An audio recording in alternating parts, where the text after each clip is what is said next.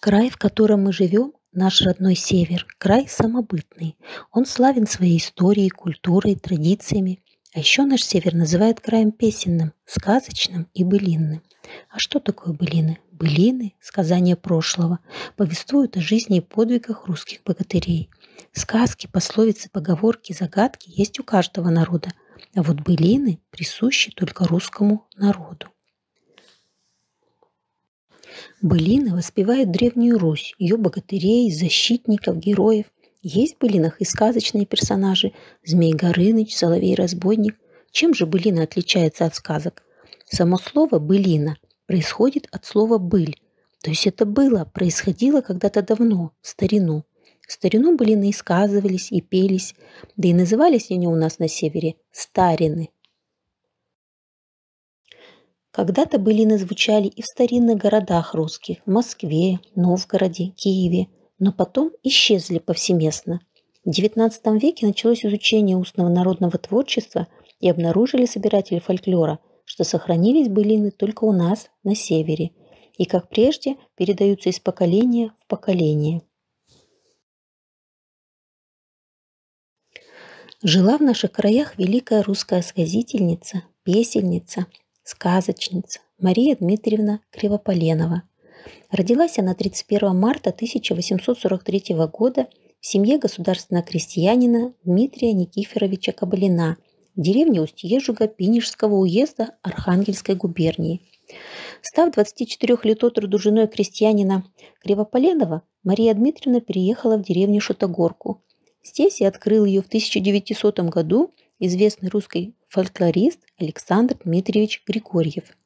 Записанные от Марии Дмитриевны Старины и в том числе уникальную песню «Вавила из Комарохи», Григорьев опубликовал книги «Архангельские былины. Исторические песни». Было это в 1904 году.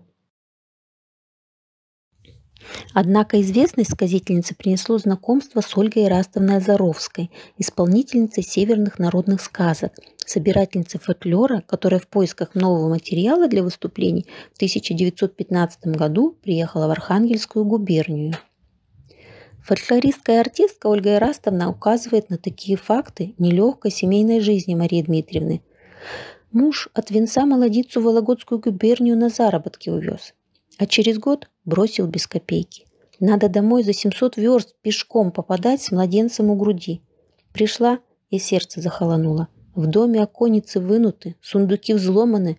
Злодей раньше поспел, все пропил. Дыра, а не дом.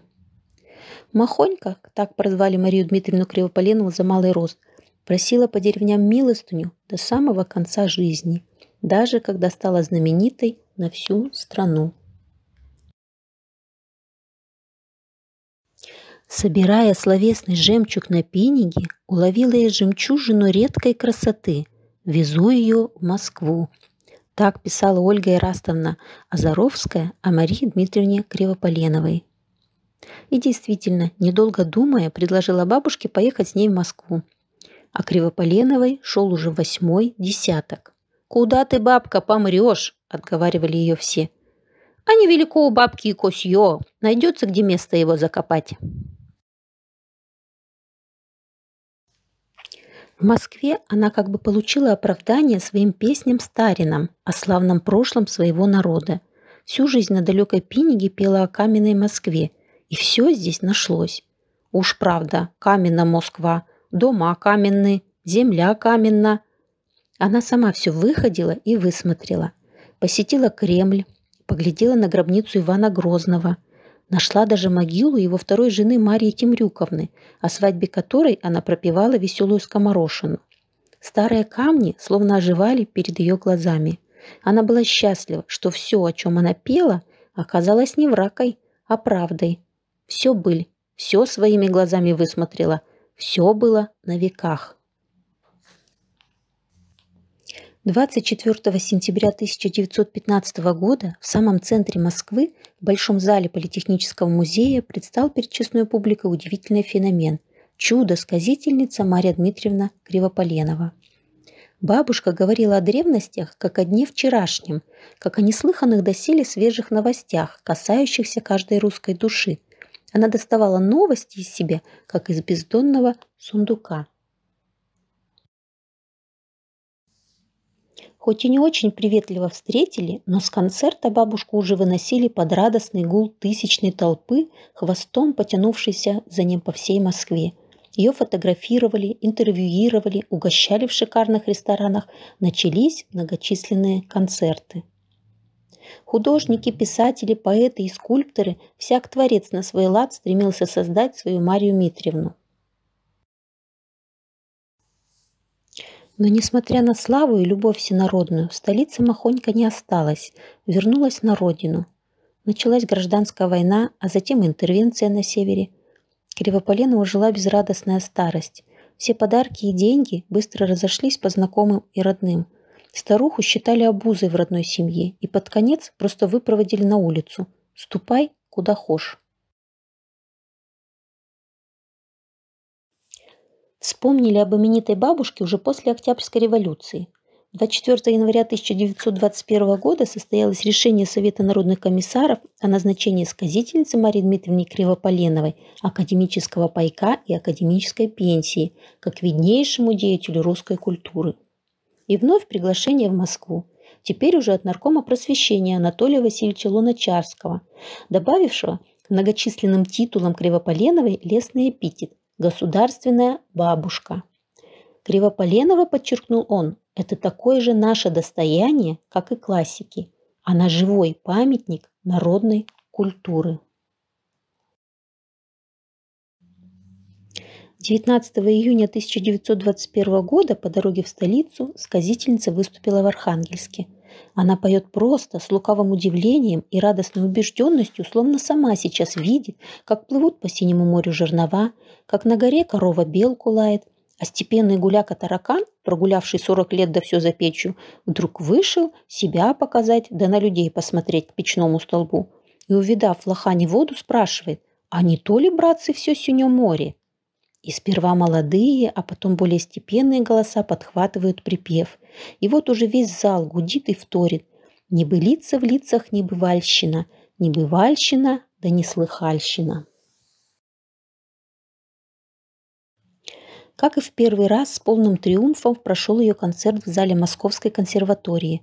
Фольклористы записали много новых песен, сказок, отметив импровизационный характер их исполнения – до поздней ночи гостила государственная бабушка у Луначарского, которому связала в подарок трехцветные пинежские рукавички. Несмотря на настойчивые предложения остаться в Москве, Мария Дмитриевна Кривополенова вернулась домой, на Пинигу. Но Марии Дмитриевне Кривополеновой оставалось жить уже недолго. 2 февраля 1924 года она умерла. Похоронена она близ деревни Чакала на высоком месте неподалеку от реки Пинига. Борис Шергин, лично знакомый со сказительницей, так описал ее кончину.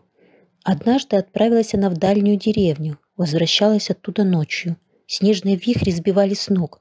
Кто-то привел старуху на постоялый двор. Изба битком набита заезжим народом. Сказительницу узнали, опростали местечко на лавке. Сидя на лавке, прямая, спокойная, Кривополенова сказала – Дайте свечку. Сейчас запоет петух, и я отойду. Сжимая в руках горящую свечку, Мария Дмитриевна сказала «Прости меня, земля русская». Сеня громко прокричал петух. Сказительница Былин закрыла глаза.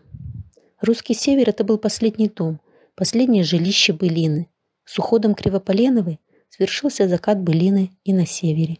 И этот закат был великолепен. Крохотная деревня Чакала в Пенежском районе Архангельской области. Находится она уже практически в тайге.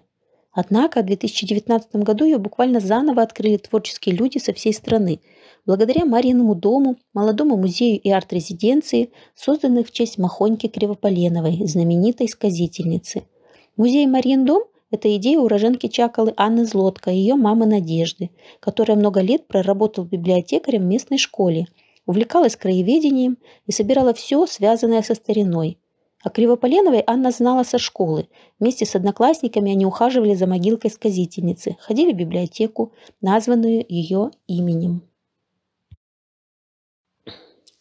Сам дом Марии Дмитриевны был почти разрушен. Удалось спасти только его части – дверь, оконные рамы, старинный сундук, вешалку. С них и начали восстанавливать атмосферу и обстановку житья-бытия того времени.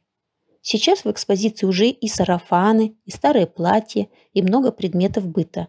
Ничего не прячут за витринами и стеклами, любой предмет можно не только рассмотреть, но и потрогать.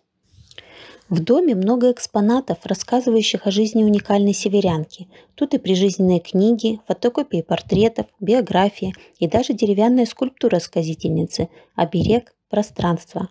Все проникнуто историей, связанной с Марией Дмитриевной Кривополеновой. Махонька, как любя называли ее земляки, стала главной героиней нового музея.